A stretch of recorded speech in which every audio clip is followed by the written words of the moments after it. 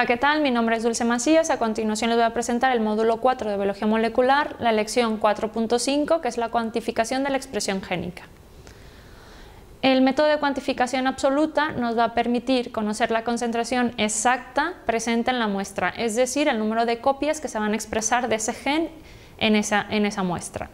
La concentración es calculada a través de una curva estándar como eh, se tiene que calcular por lo menos 5 puntos de una dilución de una serie de un housekeeping, los cuales nos va a permitir ver la eficiencia de la PCR, secuencias de amplicón o la eficiencia de la expresión de ese gen. El método de cuantificación relativa eh, por el método de CTS nos va a permitir lo siguiente, determinar los productos de PCR dependiendo de los ciclos que se va a llevar en una PCR tiempo real.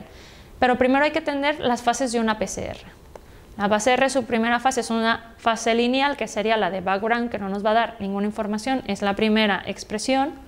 Luego una fase exponencial del gen, una fase lineal y una fase de meseta. En estas fases, la parte importante es la fase exponencial. En esta parte, fase exponencial o umbral, nos va a determinar el número de ciclos, cuántas copias o productos de PCR se están produciendo ahí lo cual se traduce a qué número de expresión génica estoy teniendo de ese gen. ¿Cómo llevo a cabo eh, la cuantificación relativa? Pues tengo el gen de interés en células control, ese mismo gen en células tratadas, lo cual me va a permitir saber la cuantificación relativa, cambios de expresión o aumento o disminución de la regulación de la expresión génica. ¿Qué se necesita para cuantificarlo? Además de tener el gen de interés tanto en muestras control como en tratadas, un gen que va a ser un housekeeping. Estos genes pueden ser un GAP de actina, que son importantes, que se expresan constitutivamente en las células, es decir, no van a tener ningún cambio. Entonces, teniendo el gen de housekeeping en células control como en células tratadas, se saca su delta CT en, ambos, en ambas muestras una vez que se tiene el delta CT1 de células control, delta CT2 de células tratadas, se, resta el doble delta CT de células tratadas del, delta CT1 menos el delta CT2 de las muestras control, los cuales nos va a dar un valor al cual vamos a llevar al 2 a la N.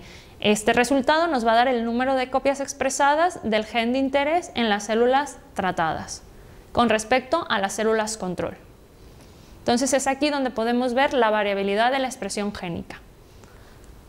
Este es un gráfico representativo de una PCR tiempo real donde estamos calculando dos muestras, que es la actina y el gen de interés, en este caso CHOP.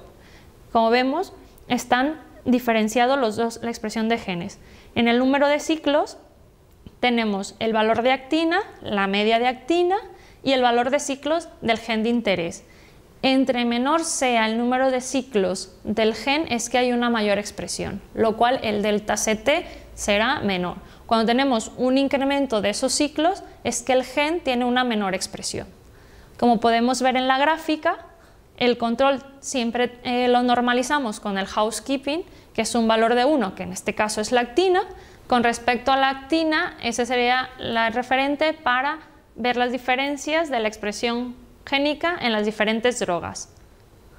Con esta lección terminamos el módulo 4, espero que sea de gran utilidad. Muchas gracias.